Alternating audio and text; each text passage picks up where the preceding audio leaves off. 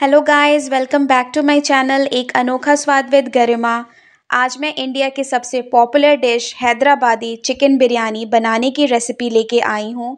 इस बिरयानी की खासियत ये है कि ये बहुत ही फ्लेवरफुल होता है और इसके हर बाइट में आपको स्वाद मिलेगा। तो आप अगर बिरयानी खाने के शौकीन हैं तो वीडियो के एंड तक बने रहें, क्योंकि मैं आपको इसे बहुत ही आसान तरीके से बनाना बताऊँगी। तो आइए इस रेसिपी को बिना किसी देरी के स्टार्ट करते हैं। चिकन बिरयानी बनाने के लिए सबसे पहले हम चिकन को मैरिनेट करेंगे। मैरिनेशन के लिए सबसे पहले हम इसमें एक बाउल में दही डालेंगे। ये हाफ़ कप दही है। सबको डाल लें। उसके बाद इसमें हम प्याज डालेंगे, जिसको मैंने पहले से ही गोल्डन ब्राउन करके रखा हुआ है। ये चार मीडियम साइज़ के प्याज थे। इसको मैंने छोटे छोटे पीसेस में कट कर लिए हैं। इन सबको हम डाल लेंगे।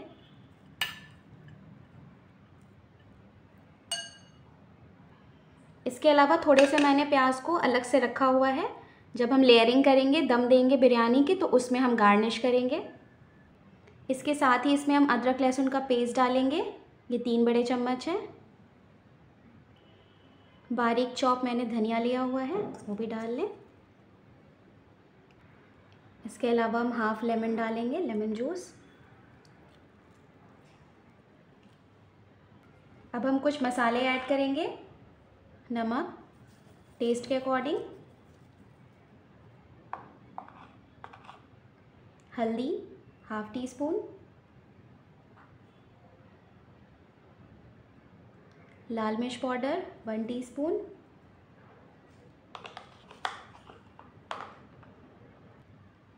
धनिया powder one teaspoon,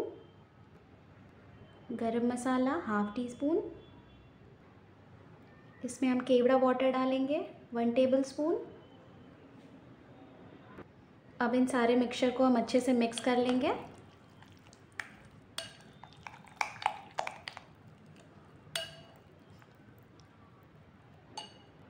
अब इस मैरिनेशन में हम चिकन के पीसेस डालेंगे। चिकन यहाँ पे हम 800 ग्राम यूज़ कर रहे हैं।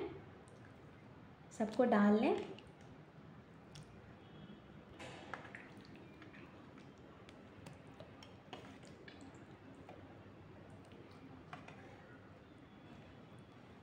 अब इन्हें हमें अच्छे से मिक्स कर लेना है। यहाँ पे मैंने चिकन के पीसेस को अच्छे से मैरिनेट कर लिया है।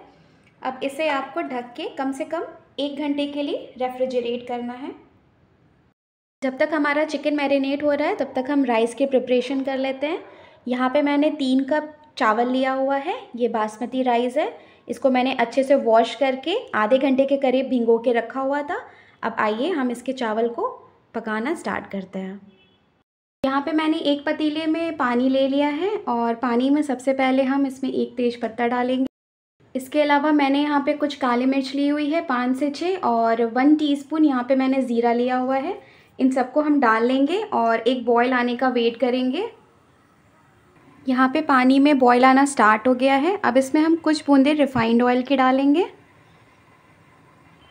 एक चौथाई नींबू का रस डालेंगे। इससे चावल बिल्कुल वाइट और खिले खिले बनते हैं। अब इसमें हम भीगे हुए चावल डाल देंगे।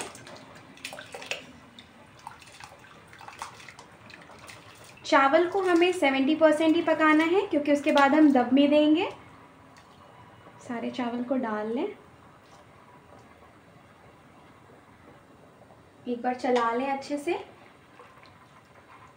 बीच बीच में आपको चावल निकाल के चेक करना है, कहीं ये ओवर कुक ना हो जाए, नहीं तो सारे चावल टूट जाएँगे। चावल को पकते हुए दो से तीन मिनट हो गए हैं। और ये ऑलमोस्ट फोर्टी परसेंट पक चुके हैं। कुछ देर हमें इसे और पकाना है, फिर हम गैस की फ्लेम को ऑफ़ करेंगे। चावल यहाँ पे हमारे ऑलमोस्ट हो गए हैं। ये सेवेंटी परसेंट भी कुक हो गए हैं। आपको मैं दिखा देती हूँ। ये देखिए। बहुत ज़्यादा भी ओवर कुक हमें नहीं करना है। अब इस स्टेज पे हम गैस की फ्लेम को ऑफ़ कर देंगे और एक स्ट्रेनर की मदद से हम सारे चावल को स्ट्रेन कर लेंगे और जो ये खड़े मसाले हैं, वो हमें इसे निकालना नहीं है। ये भी राइस में हमें रहने देना है तो हम इसे स्ट्रेन कर लेते हैं। यहाँ पे मैंने एक स्ट्रेनर की मदद से सारे चावल को देखिए छान लिया है और इसमें जो खड़े मसाले हैं, वो भी एज़ इट इज़ हैं। अब इसे हमें पूरा अच्छे से ठंडा होने देना है, उसके बाद हम इसके आगे की प्रोसेस करेंगे। यहाँ पे मैंने कढ़ाई ले ली है। सबसे पहले इसमें हम रिफ़ाइंड ऑयल डालेंगे। ये एक चौथाई कप है। तेल को गर्म हो जाने दें। अब इसमें सबसे पहले हम तेज पत्ता डालेंगे। एक बड़ी इलायची। यहाँ पे एक घंटे के करीब मैंने चिकन को मैरिनेट कर लिया था। अब ये सारा मैरिनेटेड चिकन हम एक के बाद एक कढ़ाई में डालेंगे। सारे पीसेस को डाल लें इसमें।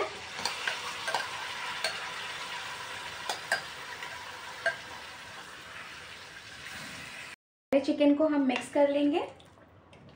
सबको एक बार चला लें।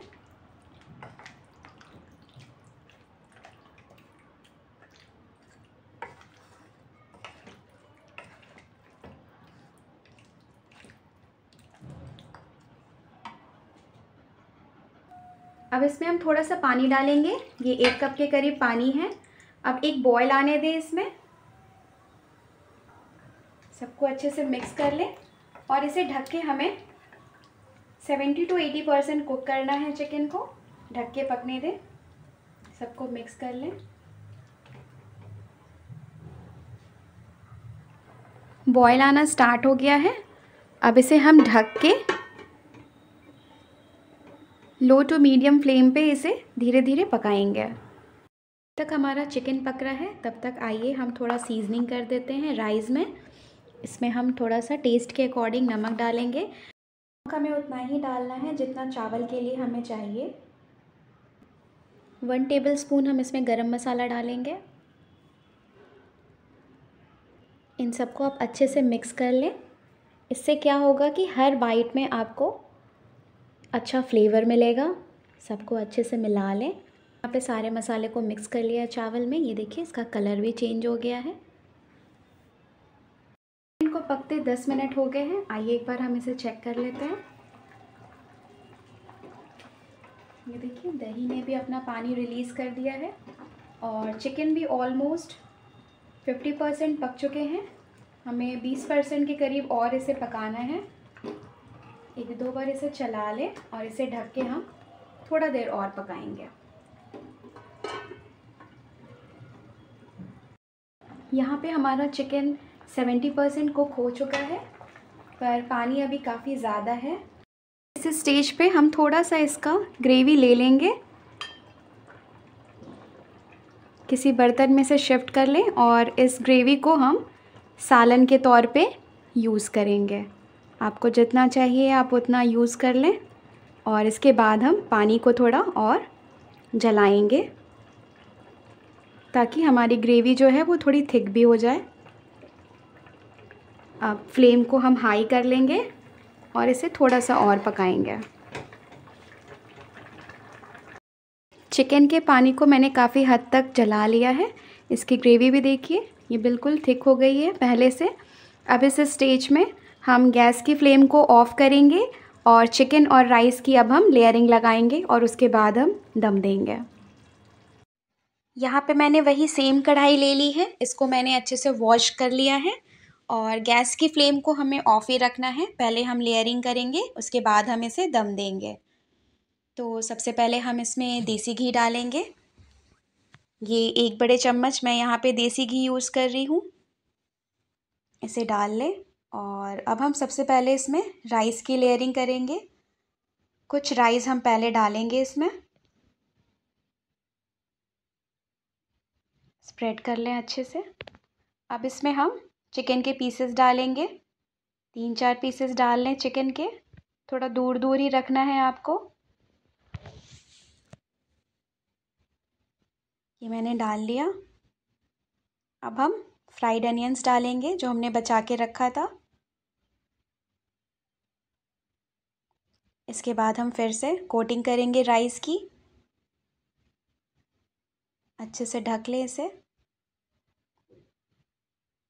अब हम फिर कुछ पीसेस डालेंगे चिकन के। फिर कुछ जूस जो हमारी ग्रेवी बची थी। फ्राइड अनियंस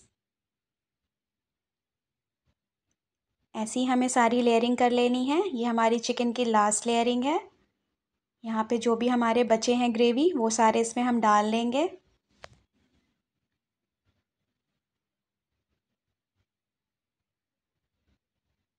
फ्राइड अनियंस डाल देंगे।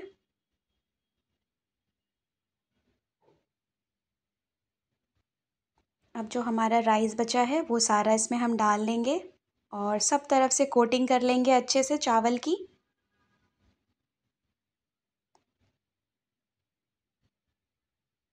फ्राइड अनियंस डाल दें सारे।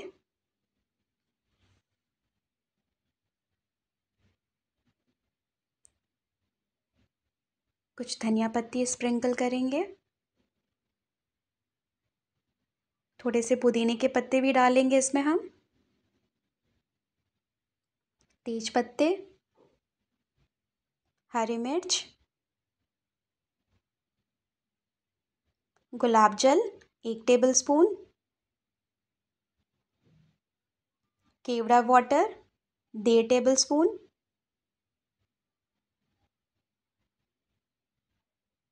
अब इसमें हम फ़ूड कलर डालेंगे ऑरेंज और ग्रीन में यूज़ कर रही हूँ कहीं कहीं स्प्रिंकल कर लें इन सबको। अब इसे हम फॉइल पेपर की मदद से सील करेंगे। अगर फॉइल पेपर ना हो अवेलेबल तो आप आटे भी लगा सकते हैं इसके एजेस में। अच्छे से इसको कोट कर लें। अब हम ढक्कन की मदद से इसे ढक के अच्छे से एक बार प्रेस कर लेंगे। अब मैं आपको बताती हूँ इसे दम कैसे देना है। यहाँ पे मैंने एक पतीला ले लिया है और इसमें मैंने बहुत ज़रा सा पानी डाला है। गैस की फ्लेम को हमें ऑन रखना है। अब इसमें हम कढ़ाई इसके ऊपर रखेंगे और हाई फ्लेम पे इसे हमें बॉईल करना है पानी को।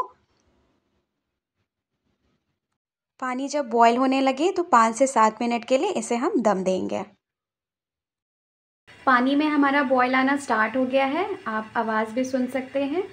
और इसे अब हमें कम से कम पाँच से सात मिनट के लिए दम देना है।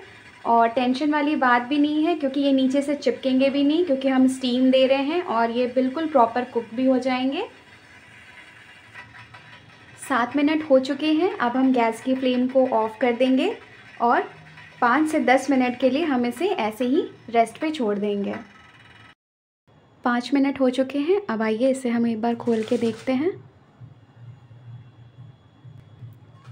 फॉइल को भी हम हटा लेते हैं।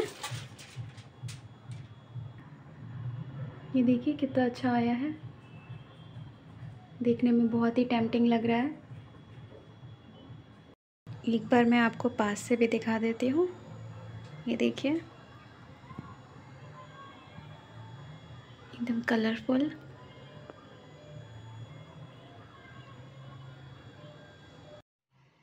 मैं आपको इसे चला के भी दिखा देती हूँ।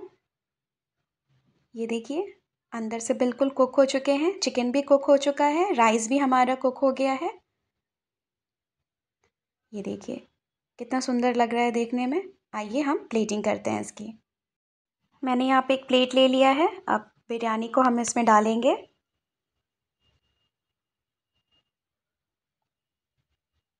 सारे बिरयानी मैंने डाल ली है यहाँ पे।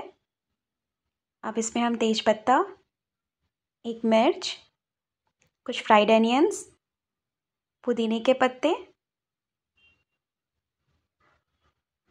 प्याज, नींबू और एक बॉइल्ड एग हम डालेंगे। जो सालन बनाया था, वो भी मैंने रख दिया है और बिरयानी खाने के लिए बिल्कुल रेडी है। अगर आपको मेरी वीडियो अच्छी लगे तो प्लीज़ लाइक और कमेंट करना ना भूलें। और अगर आप मेरे चैनल पे नए हैं तो प्लीज़ मुझे सब्सक्राइब करना ना भूलें। मिलते हैं आप सबसे मेरे अगले वीडियो में। तब तक के लिए नमस्ते।